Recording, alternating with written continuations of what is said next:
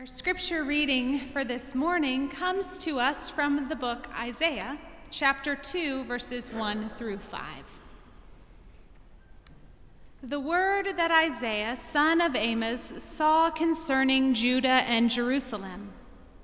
In days to come, the mountain of the Lord's house shall be established as the highest of the mountains, and shall be raised above the hills all the nations shall stream to it. Many peoples shall come and say, Come, let us go up to the mountain of the Lord, to the house of the God of Jacob, that he may teach us his ways and we may walk in his paths. For out of Zion shall go forth instruction, and the word of the Lord from Jerusalem. He shall judge between the nations and shall arbitrate for many peoples. They shall beat their swords into plowshares and their spears into pruning hooks. Nation shall not lift up sword against nation, neither shall they learn war any more. O house of Jacob, come, let us walk in the light of the Lord. This is the word of God for the people of God. Thanks be to God. This cross was my grandfather's. He died when my mother was 12, so obviously I never got a chance to know him, but he was a Presbyterian minister and a chaplain in the Navy during World War II. And I love this cross. It is one of my most prized possessions. And it also has two candlesticks that go along with it. This is made out of brass shell casings. And he got it in the Pacific, as I mentioned, during World War II. And I couldn't bring the, um, the candlesticks with me in here because it's very, they're very heavy, and I didn't feel like I could carry them back and forth between services. But I love this cross. It is one of my most prized possessions. And it is because it reminds me of my grandfather and makes me feel close to him, but also because it reminds me of this scripture. And I have vivid memories when my grandmother, before she moved into her current assisted living facility, she would take this cross and the candlesticks down in her previous retirement home when her pastor would come to do communion. And this would be the cross and the candlesticks that would be set on the altar as they would receive communion from her pastor. And I just have very vivid memories of that. And so this is a very important, um, very important and near and dear to my heart because it reminds me of this scripture. The book of Isaiah begins with Isaiah prophesying against the wickedness of Judah. God is bringing a legal suit against God's people because they have not kept God's covenant. God says in chapter 1 that he has had enough with burnt offerings, but he has always wanted the people's hearts. God says, Cease to do evil, learn to do good, seek justice, rescue the oppressed, defend the orphan, plead for the widow. Isaiah warns of the impending takeover by Assyria if God's people do not change their ways. The first chapter goes on If you are willing and obedient, you shall eat the good of the land, but if you refuse and rebel, you shall be devoured by the sword. Pretty clear, I think.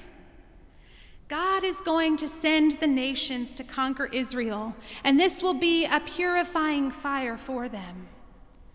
Throughout roughly the first half of the book of Isaiah, we see the Israelites making allegiances with nations in order to keep them safe, especially Babylon and Egypt.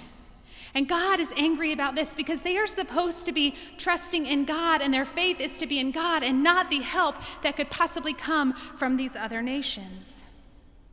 So, all of this, this background from Isaiah, presents a stark contrast to the image in chapter 2 that we just read about.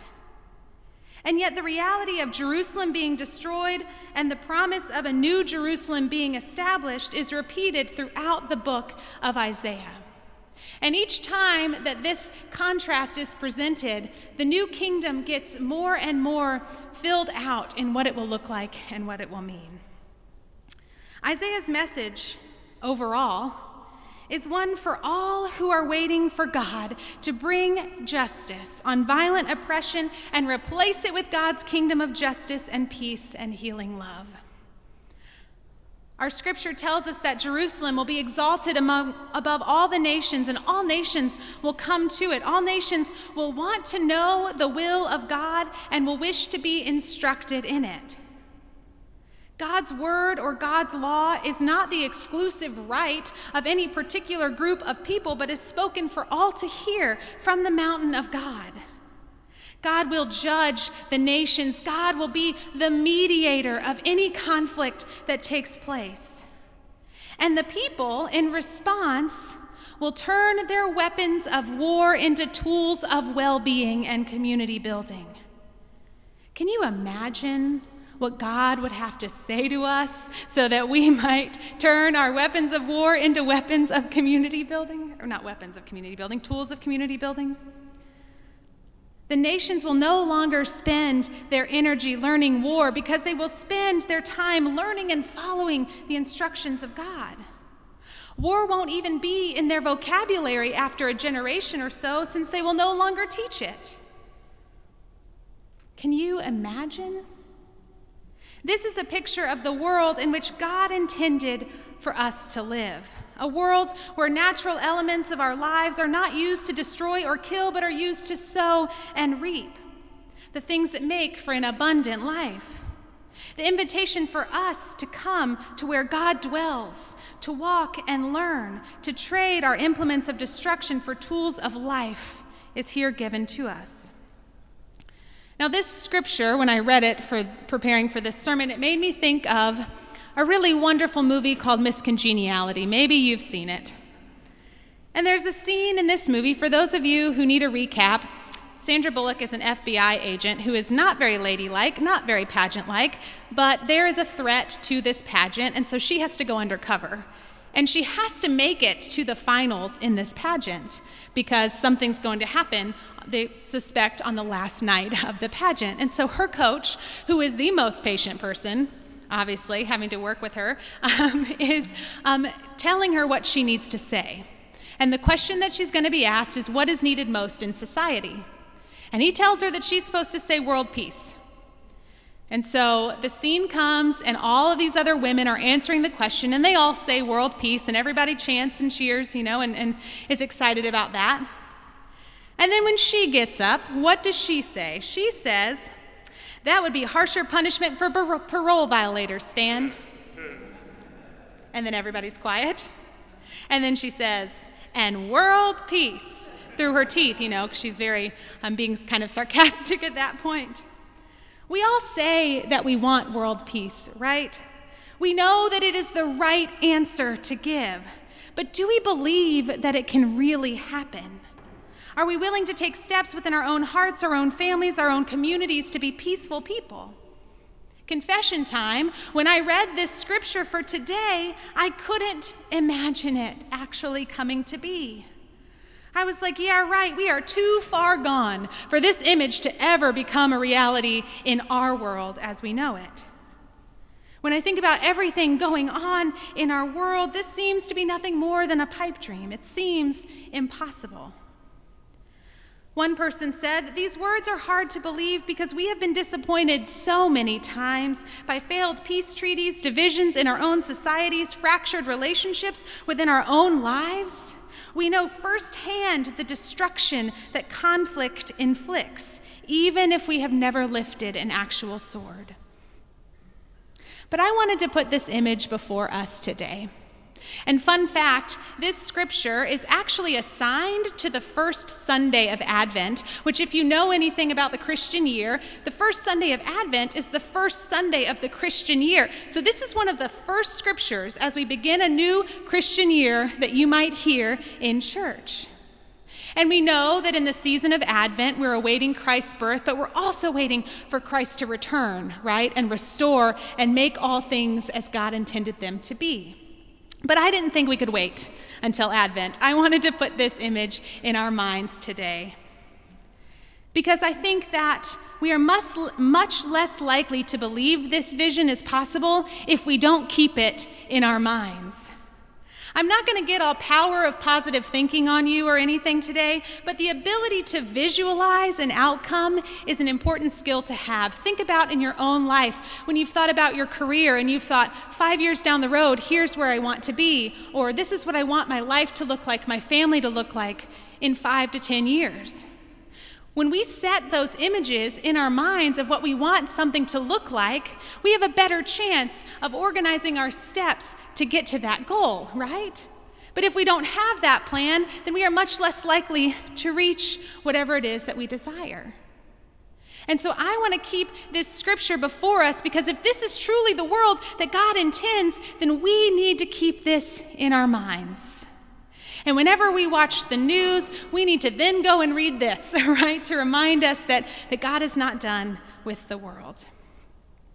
I think one of the problems when it comes to thinking ahead or visualizing is that if you're anything like me, you spend all your time and energy thinking about the future and you're thinking about the worst possible outcomes. Thankfully for us, this vision that Isaiah has is brought back to real time with the last verse Walk in the light of the Lord. It is Isaiah's way of telling us to eat the elephant one bite at a time. Here's the vision, and now take steps with God's help to make this vision a reality. Those who live in the presence of God, that's us, are admonished to take the first steps on the path that all nations will one day tread.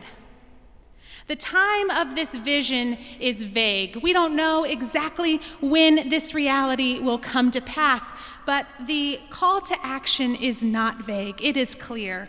Walk step by step in the light. As I mentioned a few weeks ago, the reign of God is not something that's just a future promise. We're not only talking about when we get to heaven, when we talk about the kingdom or the reign of God, but it's also a present reality. And the church has a special role in ushering in this reign of God. And this image gives us a picture of what that is to look like. And if this image gives us any hope at all, then we must participate in the work to make it a reality. But maybe as you heard this scripture, maybe part of the reason why it's so hard to believe is because you thought, well, if only that group of people or that nation or that person would heed the Lord's instruction, this would all be possible.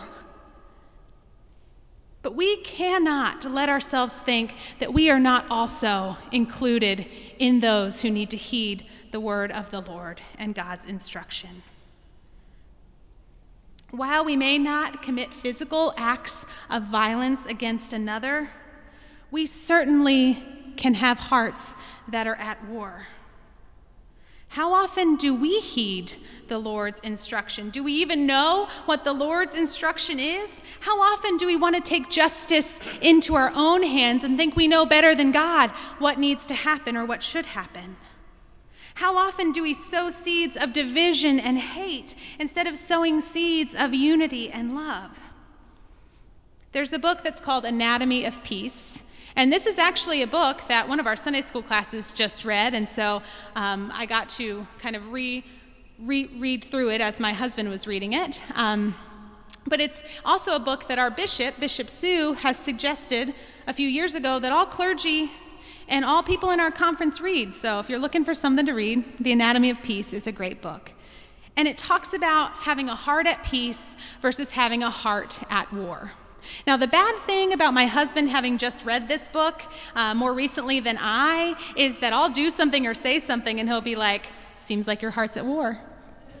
Thanks a lot, hon. But anyway, that's beside the point. Anyway, in this book, a heart at war is defined as one in which we see others as objects. Others are obstacles or vehicles to get what we want. And if our hearts are at peace, then we recognize others as people that have hopes and needs and cares and fears as real as our own and as valid as our own. We want what is best for them. We want them to succeed and thrive. And this is when the work of cultivating community begins.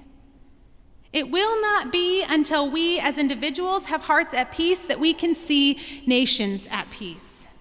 And as cliche as it sounds, it truly does begin with us in our own hearts. If I'm honest, my husband has been right sometimes when he said that my heart is not at peace.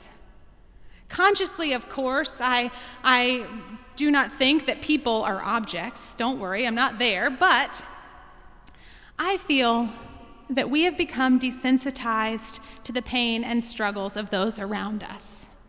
What I see in the world, in many places, is a lack of empathy we have compassion fatigue. Or maybe we just feel paralyzed when we think about how much is wrong in the world and how can we, as seemingly insignificant beings, do anything about it. All of these things can no doubt lead to us having our hearts at war.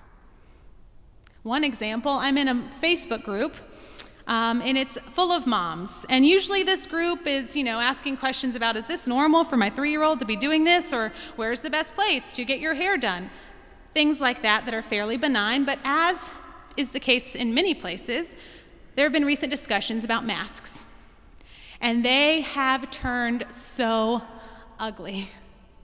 And what surprises me is not that we have differences of opinion about things because we, we're always going to have those. There will always be conflict in the world. But it is how much there's a lack of empathy. There is a total lack of empathy or desire to know what someone else's experience truly is. And here is the scarier part. I see these comments and I see these threads on Facebook, and I don't comment on them, but I will read them. And I will say, Let me get some popcorn because it is about to go down and this is exciting and there's something about it that just gets me really worked up.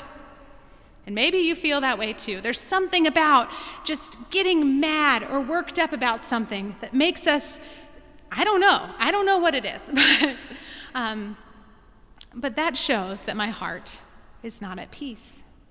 That shows that there's something in my nature, in our nature, that likes conflict, that likes to get involved in it because it riles us up. I need this image from Isaiah chapter 2 today. We need this image from Isaiah chapter 2 today. I need to be reminded of God's ultimate plan for creation, one of justice, peace, and restoration. So, my question for us today, and as we go throughout this week, let's think about the things that we are doing and saying. And are these things bringing us closer to this reality, or are they making this reality even harder to envision or imagine? As followers of Christ, we have the responsibility to hear God's instruction and to live in peaceful ways, trusting that God will ultimately make everything right. This scripture gives us confidence that the future belongs to God, which can give us hope in the present. One person put it this way We are in the presence of a mystery. We don't know when or how, but we can know that this is what God is seeking to do in our world. It is what Jesus meant by the reign of God, which is already present and at work among us though obviously not yet in fullness. Jesus ushered it in. We see it in Jesus who converted fear to love, lunacy to sanity, enemies to friends. He died surrounded by swords. A spear stabbed him, nails tore him. They entered infinite love, which melted them into light. There is power in walking in God's light here and now, one step at a time. Maybe you feel cynical or hopeless that this world could ever truly exist. But there is enormous and practical power in taking steps towards this goal. The future belongs to God. God's plan for us has never changed. But the steps toward that future belong to those of us who have glimpsed God's light and who trust that as we take these steps, there will be enough light along the way. So let us walk in the light and be cultivators of a garden of peace and justice. Let us pray.